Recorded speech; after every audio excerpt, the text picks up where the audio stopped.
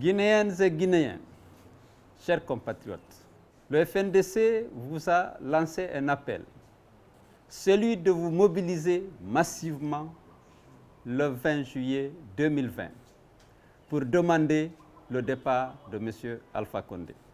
Comme vous le savez, M. Alpha Condé a violé son serment.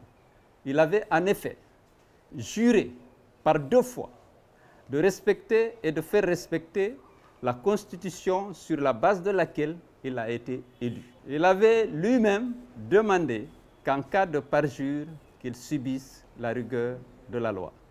Il est responsable de la mort de plus de 200 jeunes, tués souvent à bout portant lors des manifestations politiques et sociales.